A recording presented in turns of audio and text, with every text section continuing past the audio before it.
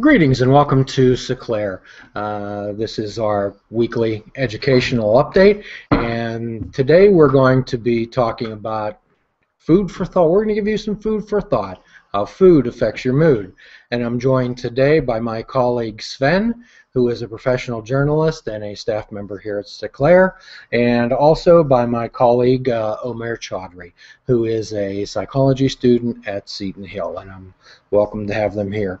So today what we're going to talk about is I don't realize if many people, when we say you have two brains, uh, I don't see any of us having two heads here.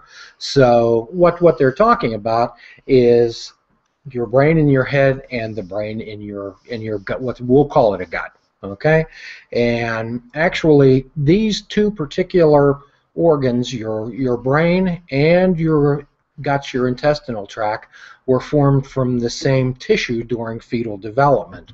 They're connected by the 10th cranial nerve called the vagus nerve, which runs from your brain stem to your gut. And people often talk about serotonin receptors, these type of things. Actually, the in your intestines, there are more serotonin receptors than you are than there are in your brain. And what we're going to be speaking about today is how food impacts your mood. And what I'd like to do is, first of all, turn it over to my uh, colleague Sven and talk about some uh, foods that alter moods in a negative way. Well, that's true. Um, and I asked to be in on this podcast today because I can speak with some firsthand experience about, uh, well, at least two of these. Uh, there's three, three what they call mood-busting foods, which is if you consume a lot of these, uh, you're definitely going to have a problem with uh, depression or anxiety or, or that sort of thing. And the number one biggest thing right now is sugar. And frequently that comes in the form of high fructose corn syrup.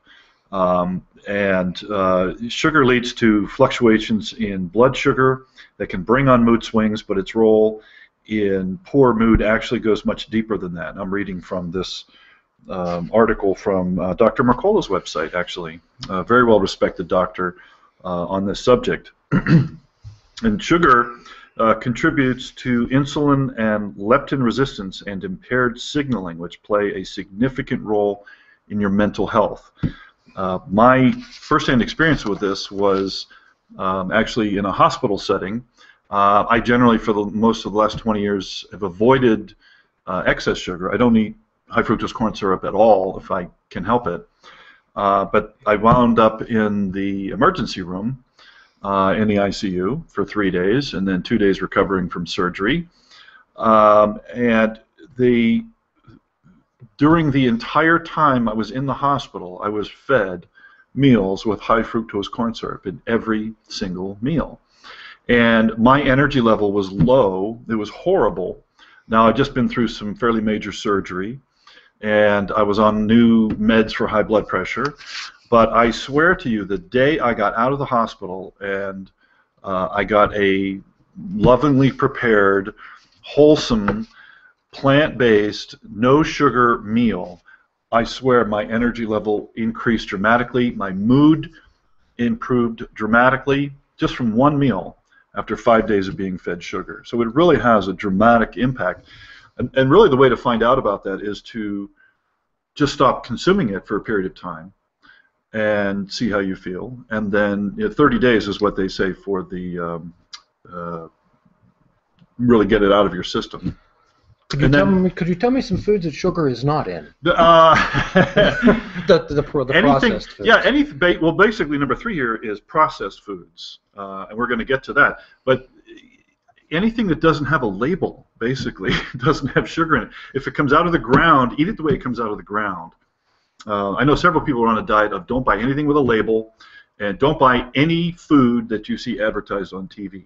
Because if they have enough money to advertise it on TV, the chances are they haven't really done the work on making it a good, wholesome, uh, prepared food. Number two on the list is glutens, and I and I can speak to that also very very keenly. Um, I gave up glutens about two years ago, and I lost 35 pounds. I lost most of my depression, most of my anxiety, my achy joints went away, my GI problems all went away, and glutens is a protein found in grains such as wheat, rye, and barley. Barley was tripping me up for a while because I love barley soup. And it may negatively impact mood and brain health. That's straight from Dr. Mercola. So uh, that was a real tough one to give up. Uh, wheat is in everything. I mean, even in soy sauce. How, how do they get I wheat into soy sauce? I know. So you really have to be vigilant. And even when you go to like an Indian restaurant or a Chinese restaurant where you can get a lot of vegetarian food very well prepared, you have to watch out for some of these uh, sources of glutens. And uh, well, MSG is another problem, but I think you're probably going to cover that uh, as well, right? Yes, yes, and uh, what you're saying is read the labels on. Oh yeah, read the labels if you have to buy something with a label, but really by and large learn to uh, buy food and prepare food that you just buy as it comes out of the ground. You know, fresh fruits, nuts, vegetables, seeds, uh, and you know that sort of thing. Well, Sven, I've been looking at some labels, and I believe I would have to have a chemist with me to explain it to me. Basically, basically, yeah. That's why uh, avoiding food with labels entirely is often a very good strategy. Oh, it's it's commonly known, it's maybe not commonly known, that high fructose sugar suppresses a vital growth hormone called BDNF that also is linked to depression and schizophrenia. Mm. Uh, what we're getting, uh, we're giving you a lot of uh, what would maybe call bad news here. Uh, sugar tastes good, doesn't it? Well, and that's the problem, you know. Um, and actually, uh, all of my health challenges that I'm having now as an adult in my 50s started because of poor and really too much sugar as a child before the age of 10. So, really, all of my problems today in my 50s were because of po- food choices my mother made when before I was 10 years old. And she was trying to provide you with the best she could. She did what she thought was the best thing based on the publicly accepted science of the day. Uh, Dr. Chaudhary often says, you mentioned advertising. Dr. Chaudhary often says that if a company has to spend millions and millions and millions of dollars to convince you to buy a product, it is not worth buying. Uh, I've always thought that about, I don't know if we should say specific brand names here, but there's certain brands of beer that just blitzkrieg you with their advertising. And I'm sorry, the beer's crap. It's just not good beer, you know. But they have spent so much money on advertising that they have convinced apparently half of the beer drinkers in America that they have good beer. well, if you tell, tell a lie loud enough and long enough, some people will believe it. So Even when your own taste buds contradict your. let's uh, let's improve the mood a little bit of this broadcast and turn it over to my colleague Omair, who's going to go over some foods that will boost your mood and that are healthy. Yeah, the different types of. Even I want to comment on the uh, the different foods that um, even McDonald's. When I was little, I used to eat McDonald's every single day. A Happy Meal? Were you happy, Omair? Were you happy? Never happy. happy meals don't make you happy. No, they don't. Now my whole my everything just went down. I was just not an energetic kid. I wasn't happy mode or anything like that, so I stayed the same. But then my dad tried to teach me the different healthy foods of the salads. Even my mom kept pushing me and pushing me to eat fruits and vegetables and all that type of stuff. Still didn't listen to her mm-hmm. because I didn't think they were right. Even though my dad is known to eat, you know, and try to tell people have the different groups and stuff like that to help people eat better. Still didn't listen to him. But once I decided to eat salads and the fruits and like eating good healthy wheat um, breakfast in the morning, that helped me get through the day. So then I just started to listen to the old man and you know Isn't it amazing how, as you get older, your dad gets smarter? That's true, yeah. and so now the foods I like to eat are you are bananas. I started. I'm not a big coffee drinker, but they were saying that coffee actually um, boosts up your metabolism in your brain and releases the uh, BDNF. if you got to watch the sugar on the coffee too. Yeah. It's really coffee without sugar is the key thing. Yeah. Yeah, I'm also a big uh, green tea Mm. drinker. So Jim actually started to make green tea at the office, and I every single morning I decided to go in the refrigerator and get a whole glass full of that. Best thing I ever drank. Uh, protein it's a good thing as always. Like the organic uh, eggs and um, almond milk is pretty good for yourself. Uh, dark chocolate actually is good. for you. Chocolate. Yeah. Oh, raw, ca- raw cacao or cocoa. or- Yeah. yeah, yeah. Dark Yeah, chocolate. yeah, dark chocolate is actually good for you. I did not know that. Again, it's a, you got to watch the amount of sugar that's in the, Mhm. the different uh, products. Yeah. But you can actually get the raw cacao nibs, they call them, Mhm. uh, and I frequently put those in my smoothies in the morning, and I find that really um, it's a great antioxidant. It helps Mhm. with inflammation, and it tastes good. It gives you that chocolate taste without any uh, sugar. Isn't that amazing? Yeah, We can eat chocolates, Sven. we can eat chocolate. I always love that part. Yeah. So, how, how, t- tell me, maybe some of you, you could uh, call in, or maybe some of you could type in well, some of your experiences after eat, eating a big meal. Uh, there are so many overweight children in the United States today. Uh, how can you be overweight and malnourished at the same time? Uh, well, that's uh, again probably too much sugar and not enough of the real nutrients. Um, I, I, that's not really my area of expertise, but I know I just that threw that out. you just you just like to talk about anything and everything. I, I do know that uh, one of the common misconceptions about eating healthier is that it costs more to eat healthier, and I think this is part of the good news too that it actually can cost you a lot less to eat a plant-based diet. So could you tell me, could you tell our listeners and uh, educate us on what the difference is between organic and non-organic food? Well, organic and non-organic is really one simple thing, and that is the use of pesticides or not. And now they've actually included GMOs, the genetically modified uh, organisms, uh, as well. So when you get a certified organic, that means no pesticides. Now, there's always been a lot of controversy about whether that means it's healthier or not, or whether it's more nutritious or not. And some studies have shown that the nutritional value is the same or less, and some studies have shown that the nutritional value is way more. But the one thing that is absolutely rock solid guaranteed is you're not putting poisons of pesticides into your body.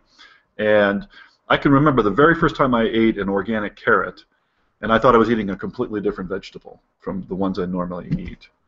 Um, it, it really is important that we don't put toxins into our body. We have a great system internally of our body on how it cleanses itself, but it's so important that we don't put the toxins in to begin with. puts a great load on your kidneys and your liver to try to detox these things, which is drawing energy from the, your vitality. Right. Uh, I was listening to a comic on uh, the radio, and he said, I already eat organic. And he says, I looked up organic in the dictionary, and it said, beside it, it said, extremely expensive. That may not be the case. That's not the case, actually. Uh, sometimes you'll find that the organic versions are a little bit more expensive, but then you have to ask yourself, how expensive is cancer? You know, how expensive is liver disease and kidney disease? And what we do here at St. Clair, we try to be proactive rather than reactive with people's health. You break a finger, you break an arm, you get a wound, you get sick, you go to the doctor, they fix you, they're reactive. What we're trying to do is attempt to offer enhancements to people's lifestyle, sensible lifestyle changes to be proactive, and let's not try not to get sick. So, can you can you tell us about some foods that may be uh, Yes, reasonably I got a great uh, article here from the Huffington Post of eight ridiculously cheap superfoods, less than a dollar per serving. Uh, and they go through beans, uh, any variety. Beans are actually very important for the diet. Um, potatoes can be very good. Uh, it looks like red potatoes. Isn't- This isn't particularly well marked here. Um, eggs are very important, 16 cents per serving. Uh, great source of uh, protein and top notch protein it says there as well. Uh, bananas, 16 cents a piece. Can't beat that with a stick. Nature's Power Bar. Now, Nature's Power Bar, isn't it? Well, you know, they put a lot of extra potassium in some of these bars, and a banana has a potassium already built in. I see a lot of power bars for sale out there, Sven. Yeah, it's you know people always looking for that quick fix, uh, that easy solution, and you know a handful of carrots or a handful of fruit can work just as well. A handful of nuts. I notice that they have always have a big pile of nuts available for here at uh, St. Clair, and I always make the joke that you are what you eat. So apparently, you know, here at the psychiatric clinic we eat lots of nuts. Do you eat lots of nuts, Omair? Of course, especially with the raisins thought too. so. you Oh, the raisins are great. Yeah. So oats is another uh, great superfood. Uh, oats, uh, some oats I think do have glutens, um, but you can watch that. Uh, brown rice, a very important source of, uh, uh, of, of nutrition. Three grams of fiber per half cup. You get a lot of good calories. Lower diabetes risk than white rice. Helps lower blood pressure. Canned tuna. Um, I've probably some issues around um, whether they catch any dolphins or anything, but basically uh, tuna is a great source of um, iron, protein, and healthy fats. Also very important for uh, boosting your brain power and heart problems is to have those healthy fats. And uh, the last one on the list is cabbage, which I've never actually been a big cabbage. Even I'm, I'm part Irish, and I just, uh, but uh, you know, corned beef and cabbage do without the corned beef, I guess.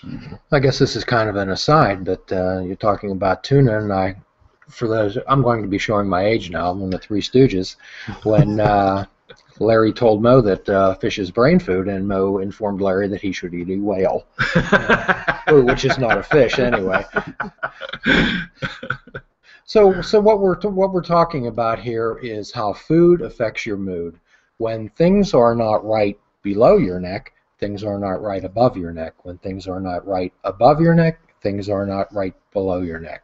Um, so you may want to take a look, step outside the bubble a bit, and observe this person, which would be you. Observe their eating habits. Observe them and be not judgmental and exactly what to. I, I think too many people get used to being sluggish and having low energy and having foggy thinking. And if we think if we just consume enough caffeine, then we'll be fine, and maybe we get that gets us through the day and everything. But you know, I found that a, a, good smoothie in the morning with lots of live food during the day, a big salad at lunch, uh, and you know, keeping away from the red meat, uh, and for me, glutens. Um, I have I have more energy now at the age of 54 than I think I did through most of my 30s and possibly some of my 40s. I mean, I've really, you know, especially these last couple of years, really watching the diet, and uh, it makes such a big difference. And we can be so much more alive and energetic and uh, effective and useful for ourselves and for our family and for the community. It's hard to do that though when your taste buds are to that good, Well, it's, delicious, it's greasy really, foods. yeah, it's really training your, your taste buds. Is it? Yeah. And what we do here at St. Clair is often we intr- attempt to introduce new skills. It's one of the most difficult tasks is is unlearning old thought patterns and behaviors, Finn, over over a lifetime. Yeah. Uh, And, and again, they're, they're, these are patterns from childhood, so Yes. they they are difficult to, to change those habits. however, they can be changed, can be changed. and there and there is hope. Uh, And when you get when you get out of that cloud, when you, especially for me, after a month of no glutens, it was so obvious to me how much better I felt that it was like I'm never going back. You know, I'm tempted by beer once in a while, but basically I stay away from it as much as I can. So especially those ones that spend all that money on advertising. that's right, especially those ones. so, are we done here, or what are we doing here? We're going to be we're going to be wrapping up uh, the Okay. program for today. All right. Um, Omair and James and myself, Sven Hosford, I really appreciate uh, all of you tuning in. And please follow St. Clair on Google Plus, on Facebook, and join us live Mondays around noon so you can ask your own questions for us to answer during our discussions.